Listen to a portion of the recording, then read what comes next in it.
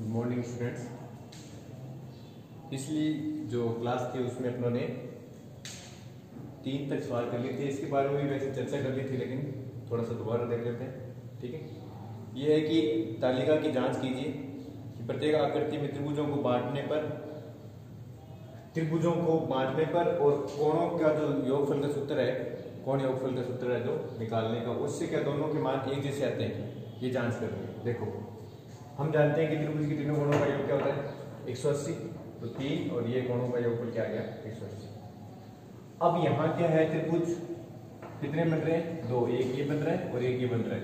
तो दो त्रिभुज इंटू एक सौ अस्सी। कितने हो गए? तीन सौ साठ। ठीक है? तो क्या योगफल का सूत्र क्या होता है? योगफल का सूत्र होता है n माइनस दो इंटू एक सौ अस्सी। तो मान रखते हैं n की जगह दो सॉरी एन की जगह देखो एन क्या होती है? एन होती है भुजाओं की संख्या और भुजा कितनी है? चार। तो चार माइनस दो इंटू एक सौ अस्सी। तो चार में से दो एक दो दो को एक सौ अस्सी से मल्टीप्लाई करेंगे, क्या आएगा? तीन सौ सात। तो आप चाहे इस फॉर्मूले से ऐसे निकाल लो, चाहे दो इंटू एक सौ अस्सी कर लो तो भी आंसर क्या आ रहा है? दोनों का एक जैसा आ रहा है। ठीक है? ऐसे यहाँ तीन को एक सौ अस्सी से गुणा करते कितना आएगा? ठीक है? अठारह चौपन एक ज़ीरो, पाँच सौ चालीस आएगा। अब यहाँ देखो त्रिभुज कितने बन रहे हैं? मतलब तीन त्रिभुज बन रहे हैं ना? एक, दो, तीन। तो तीन इंटू एक सौ अस्सी कितना आ गया? पाँच सौ चालीस। ऐसे अगर एन इस फॉर्मूले मान रखेंगे तो एन की जगह रखेंगे पाँच। पाँच माइनस दो इंटू एक सौ अस्सी।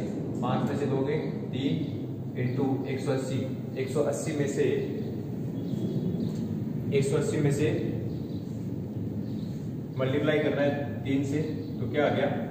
तीन इंटू एक सौ अस्सी पाँच सौ चालीस। तो दोनों से क्या आंसर? सेम आ रहा ऐसे ही सेम प्रोसेस आपको क्या करनी है? यहाँ करनी है। चार इंटू एक सौ अस्सी करोगे, उसको मल्टीप्लाई करना है, फिर एन की जगह क्या रखोगे? छः। छः माइनस दो। कितना आएगा? चार इंटू एक सौ अस्सी तो दोनों का आंसर उसमें भी क्या आएगा? सेम आएगा। ठीक है?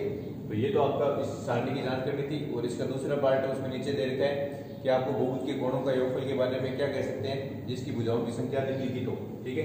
तो आपको क्या करके पहले? दे रखी है भुजा बराबर कितनी? भुजा बराबर सात। तो आपको क्या निकालना है? बहुभुज के कोणों का योगफल। बहुभुज के कोणों का योगफल। फॉर्मूला क्या होता है? एन माइनस दो इंटू एक सौ अस्सी। एन में से एन की जगह क्या रखना है? सात। तो सात माइनस दो इंटू एक सौ अस्सी। अब इसको हल कर लो, पाँच इंटू एक सौ अस्सी। ठीक है? इसको हल कर लेना ऐसे ही आगे एन माइनस, कितना दे रखा है एन बराबर क्या दे रखा है? आठ, दस, और इन पे आपको अपने आप करना है। ठीक है? एन बराबर आठ और एन बराबर दस।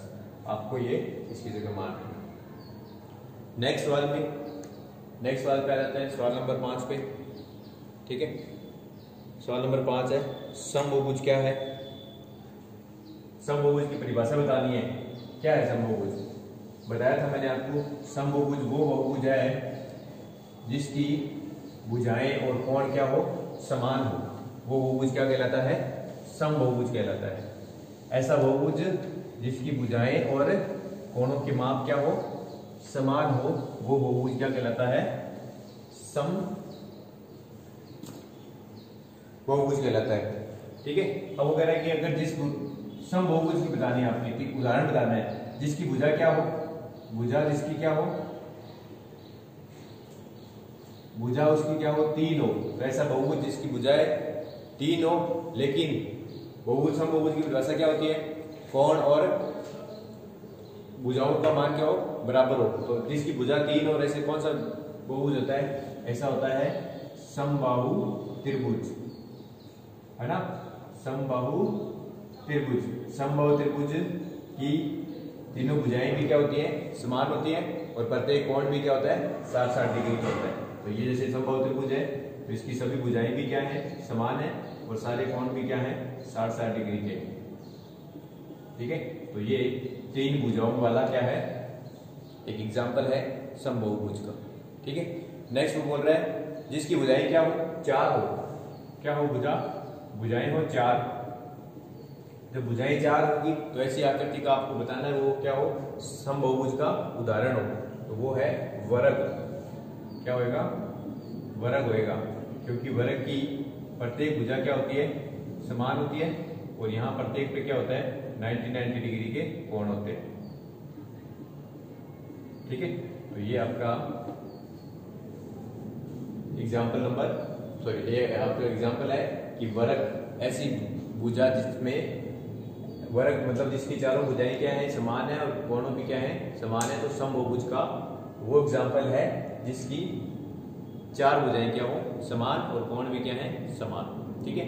नेक्स्ट वो बोल रहा है कि ऐसा बताओ जिसका छह भुजाएँ हो। तो छह भुजाएँ हैं, वो क्या कहलाएगा?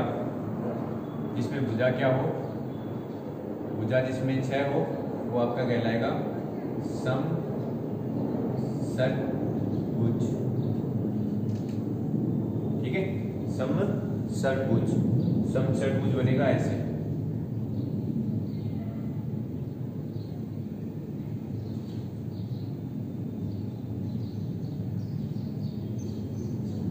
एक, दो, तीन, चार, पाँच छ ठीक है? ये छह भुजाएँ ऐसे बनेगी। और इसके कोण भी क्या होंगे? बराबर माप के होंगे। वो क्या कहलाएगा? समसट भुज ठीक है? भुजाओं की लंबाई भी क्या होगी? समान होगी और कोणों का मान भी क्या होगा समान होगा ठीक है? तो ये आपका सवाल नंबर हो गया पाँच। आपने सवाल नंबर बात करते हैं छह की। निम्नलिखित आकृतियों में आपको क्या करना है? एक्स की वैल्यू निकालनी है। ठीक है? निम्नलिखित आकृतियों में एक्स की वैल्यू निकालनी है। आपको कुछ आकृतियाँ दे रखी है। उन आकृतियों को देख के आपको बताना है कि इसमें जो x माना हुआ है, उसकी जगह क्या आएगा। जैसे पहली आकृति है।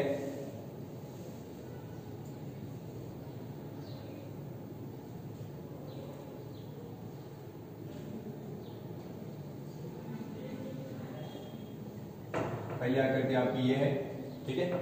जिसमें यहाँ कोण का मान दे रखा है? 130 और यहाँ पे भी क्या दे रखा है? यहाँ पे दे रखा है 120 और यहाँ दे रखा है x, और यहाँ दे रखा है आपका कोण 50 डिग्री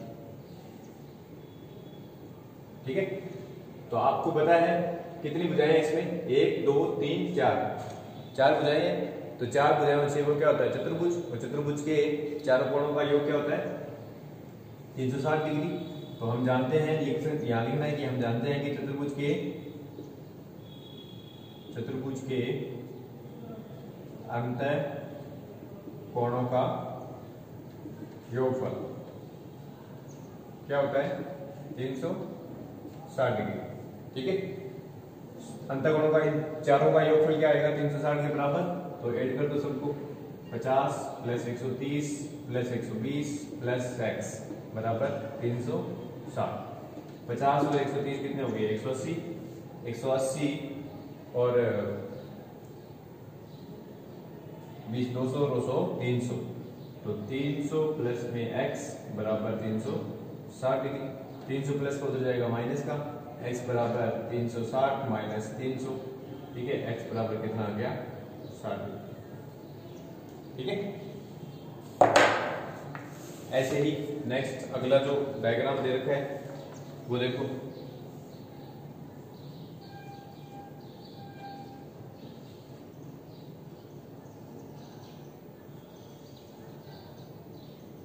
ये दे रखे हैं। यहाँ क्या है? नब्बे। यहाँ एक्स यहाँ सत्तर डिग्री। और यहाँ साठ। ठीक है? ये आपका बी नंबर ये ए नंबर ठीक है? देखो, यहाँ नब्बे है तो इधर भी क्या होगा? नब्बे। ये कहलाता है रेखीय उगम नियम। है ना? एक सरल रेखा के ऊपर एक सरल रेखा के ऊपर यहाँ अगर कौन पूछे तो क्या बताओगे आप? 180 होता है। ठीक है? तो अगर इधर ये 90 ये निशान ना ये समकोण का निशान है। तो इसका मतलब है कि वो क्या है? 90 डिग्री का कोण है। तो यहाँ 90 है तो इधर 90 है तो इधर कितना रह गया? 90 क्योंकि टोटल कितना होता है? 180 तो यहाँ रह गया 90 ठीक है? इसमें भी कितनी भुजाएँ हैं? चार। चारों भुजाओं का योगफल, चार, चतुर्भुज के चारों कोणों का योगफल क्या होता है? तीन सौ साठ। तीनों चारों को आप जोड़ दो, बराबर क्या रखना है? वैसे सेम टू सेम सवाल है। तीन सौ साठ बराबर रखना है, हल करोगे एक्स की वैल्यू आ जाएगी। ठीक है? ये आप कर लेना अपने आप। ऐसे नेक्स्ट नेक्स्ट भी आपको खुद करना है, वैसे मैं समझा देता हूँ आपको थोड़ा सा। ठीक है? नेक्स्ट में क्या करना है? ये एक डायग्राम दे रखा है।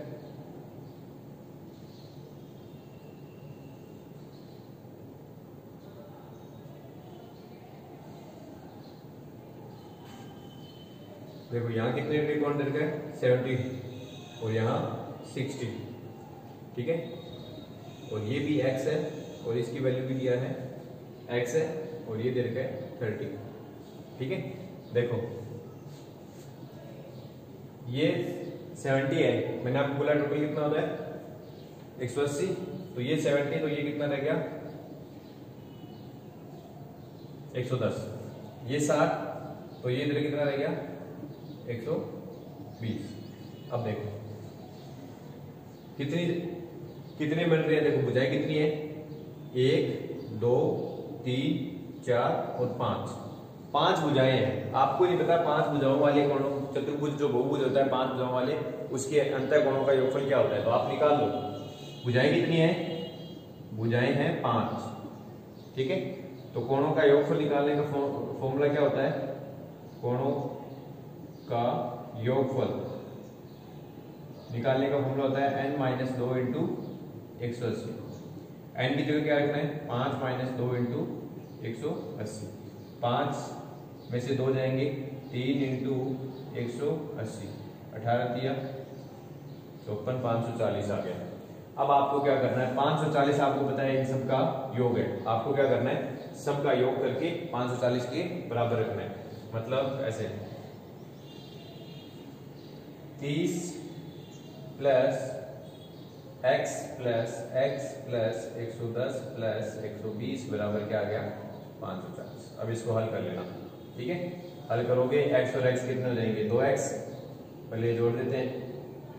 तीस और एक सौ दस हो गए, एक सौ चालीस। एक सौ चालीस और बीस।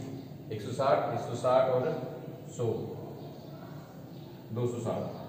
तो दो सौ साठ प्लस दो एक्स बराबर पाँच सौ चालीस। दो सौ साठ जाएगा माइनस का। तो दो एक्स बराबर पाँच सौ चालीस माइनस दो सौ साठ। अब इसमें से घटा के और दो यहाँ गुणा पे बदल जाएगा बटे में तो एक्स की वैल्यू आ जाएगी। ठीक है? ये आपको ऐसे करना है। ठीक है? ऐसे ही अगला सवाल है। इसमें आपको बुझाएँ कितने दे रखी है? बुझाएँ आपको दे रखी है दो दो चार और एक पाँच, ठीक है? पाँच बजे दे रखी तो पाँच वाला योगफल कितना होगा पाँच सौ चालीस, पाँच एक्स बराबर पाँच सौ चालीस, पाँच में भाग दे दो, है ना?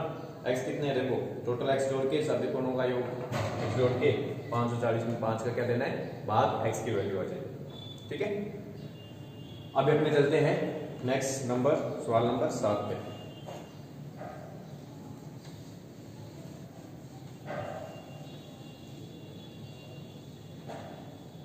X plus Y plus Z की क्या निकालनी है? वैल्यू निकालनी है आपको। तीनों का योग करके बताना है कि x plus Y plus Z का मान क्या है।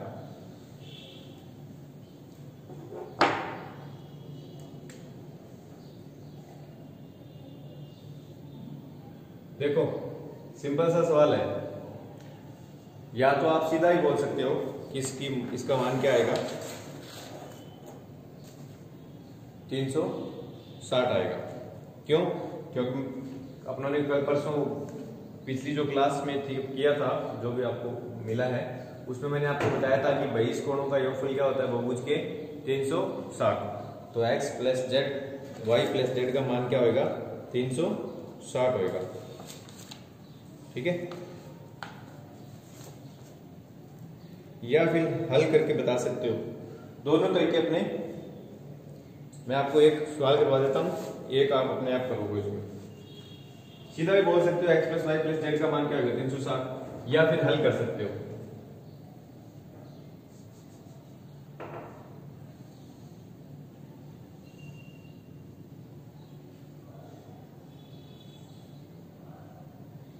ये दे रखा है। तीस डिग्री। ये दे रखा है नब्बे। इसका मान एक्स इसका वाई और इसका जेड ठीक है? तो एक तरीका वो सीधा ही बोल सकते हो आप कि भाई कोणों का योगफल क्या होता है? 360 इसलिए x plus Y plus Z का मान क्या होगा? 360 अगर हल करके बताना है तो हल करके बता सकते हो। देखो, इसका मान नहीं दे रखा आपको। इसका मान नहीं दे रखा। इसको मान लेते हैं अपने पी तो पहले तो इसका मान निकालते हैं। हम जानते हैं कि त्रिभुज के तीनों कोणों का योगफल क्या होता है? 180 ठीक है? तो त्रिभुज के तीनों कोणों का योगफल हो गया 180 त्रिभुज के अंत कोणों का योगफल हो गया 180 तो 90 प्लस 30 प्लस पी बराबर 180 90 और 30 हो गए 120 तो 120 प्लस पी बराबर 180 120 उधर जाएगा माइनस का पी बराबर 180 माइनस 120 पी बराबर क्या आ गया? साठ ठीक है? तो पी की वैल्यू क्या आ गई? साठ आ गई। अब आपको पता है कि एक सरल रेखा के ऊपर कौन होता है? वो कितने का होता है? 180 का। तो देखो, ये 30 है तो ये कितना आ गया? 180 में से घटा दो 150 ये 90 है तो ये कितना आ गया? 90 ये 60 है तो ये कितना आ गया? 120 सबको जोड़ दो, है ना? X plus Y plus Z बराबर। X की वैल्यू कितनी? X की वैल्यू 90 प्लस y की वैल्यू कितनी? 120 प्लस z की कितनी? 150 जोड़ो। देखो 90 और 120 हो गए आपके 210 210 और डेढ़ हो जाएँगे आपके 360 ठीक है? ऐसे आप क्वेश्चन नंबर जो इसका सेकंड पार्ट है, वो अपने आप करोगे। चार भुजाएँ दे रखी है तो चतुर्भुज बन रहा है। चतुर्भुज के सेम सवाल है। चतुर्भुज के चारों कोणों का क्या होता है? तीन सौ साठ। तो पहले आप इसकी वैल्यू निकाल लेना इधर वाले की।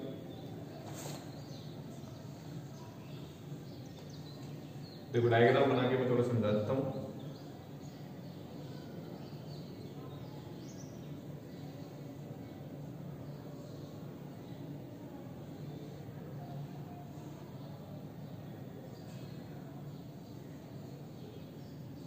ये ऐसा सा डायग्राम है इसका ठीक है यहाँ दे रखा है W यहाँ 120 यहाँ X यहाँ 80 यहाँ Y यहाँ 60 और यहाँ Z ठीक है? तो आपको क्या करना है? पहले इसकी वैल्यू निकालनी है। तो यहाँ मान लेते हैं पी आई पी प्लस एक सौ बीस प्लस अस्सी प्लस आठ चारों को जोड़ के 360 आएगा मान। वहाँ से 300 इन तीनों को जोड़ के 360 में से घटा दो पी की वैल्यू आ जाएगी पी की वैल्यू जो भी आए, वो वहाँ से डब्ल्यू निकाल लेना 180 में से घटा देना। डब्ल्यू क्या जाएगी 120 में से घटाएँगे एक्स क्या दी एक्स की आ गई सात। अस्सी में से घटाएँगे वाई की आ गई सौ साठ में से घटाएँगे जेड की आ गई एक सौ बीस। ठीक है? अब सबको जोड़ दो। और इसका भी मान 360 ही आएगा। बहिष कोण का योगफल हमेशा क्या होता है? 360 ही होता है। ठीक है? बहुभुज के बहिष कोणों का योगफल क्या होता है? 360 तो ये 3.1 यहाँ आज कंप्लीट हो गई है। तो अगली कक्षा में अपने आगे का करेंगे ठीक है? Best of luck